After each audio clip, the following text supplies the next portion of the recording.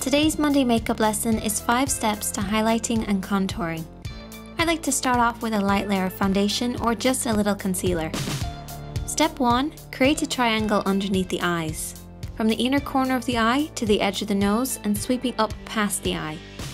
So take a concealer brush and a foundation 1 to 2 shades lighter than your skin and create these triangles.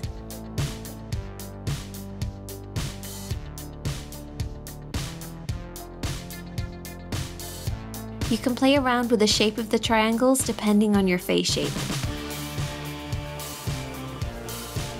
I like to lighten the edge of my nose slightly because hormonally this can be quite dark and often red.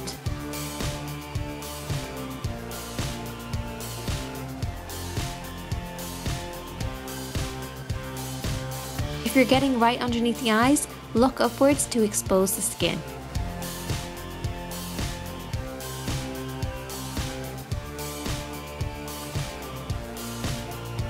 Step 2. Highlight the center of the face.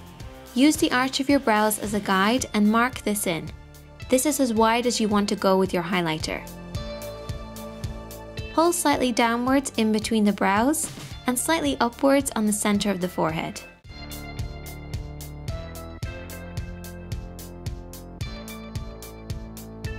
Draw a thin line down the nose. Once again, play around with the shape to find out what suits you. I like to highlight my cupid's bow to create a fuller lip appearance. And also the center of the chin, but leave a gap right underneath the lips for that pouty appearance. Use whatever's left over to highlight the edge of the lips, pulling upwards and slightly out. With a clean foundation brush and a darker shade of foundation, contour the edge of the forehead right at the hairline. Once again, use your brows as a guide and contour right outside of the arch. Step 4. Contour the edge of the nose, playing around with the shape to find out what suits you.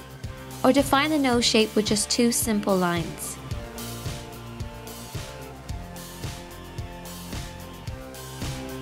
Use whatever's left over in the brush to contour right underneath the lips for that pouty appearance. For step 5, use the top of your ear and the corner of your mouth as a guide and create a line.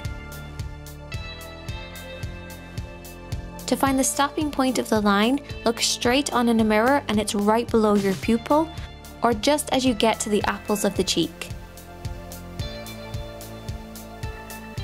Use whatever's left over in the brush to go along the jawline, but this is totally optional. And we're done! Yay!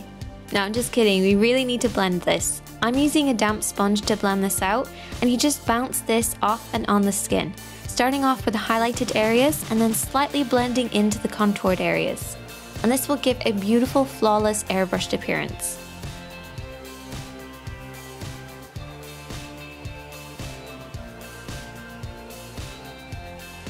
Once you have blended everything out, you can set the makeup with a transparent powder or a powder that matches the highlighting and contoured areas, or try using a setting spray.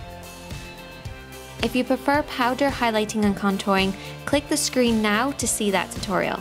And I'll see you next time.